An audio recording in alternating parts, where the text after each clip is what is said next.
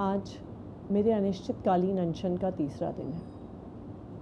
मैं इस अनशन पे इसलिए बैठी हूँ क्योंकि दिल्ली में पानी का बहुत संकट है। दिल्ली में पानी की बहुत कमी है।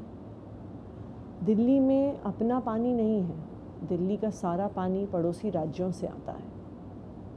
दिल्ली में कुल पानी एक हज़ार पाँच एम है, जिसमें से 613 एमजीडी यानी 613 मिलियन गैलन प्रतिदिन हरियाणा से आता है। लेकिन पिछले तीन हफ़्ते से हरियाणा ने अपना पानी कम कर दिया है। वो दिल्ली को पानी दे नहीं रहे।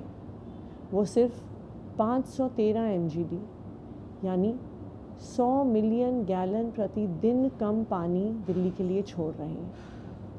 एक एमजीडी पानी से अट्ठाईस हज़ार पाँच सौ लोगों को पानी मिलता है। यानी जब हरियाणा 100 एमजीडी पानी 100 मिलियन गैलन प्रतिदिन पानी कम छोड़ रहा है तो दिल्ली के 28 लाख लोगों को पानी नहीं मिल रहा है। हरियाणा सरकार कहती है कि हमारे पास पानी ही नहीं है। हम दिल्ली को पानी कहाँ से दे दें लेकिन कल बहुत सारे पत्रकार हथनी कुंड बराज गए, जहाँ से दिल्ली के लिए पानी छोड़ा जाता है।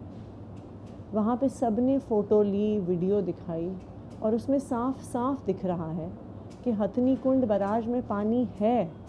उसमें पानी भरा हुआ है, लेकिन जिन गेट से दिल्ली के लिए पानी छोड़ा जाता है, उस गेट को बंद किया गया है, वहाँ से पानी नहीं छोड़ा जा रहा है। तो मेरी हरियाणा सरकार से हाथ जोड़ के विनती है कि आप हथनी कुंड बराज के दरवाजे खोल दीजिए, उसके गेट खोल दीजिए, दिल्ली वालों का पानी छोड़ दीजिए, दिल्ली वालों के जो हक का पानी है वो उन्हें मिलना चाहिए। जब तक हरियाणा सरकार दिल्ली वालों को अपने हक का पानी नहीं देगी। जब तक हथनी कुंड बराज के गेट नहीं खोलेगी, तब तक ये अनिश्चितकालीन अनशन जारी रहेगा।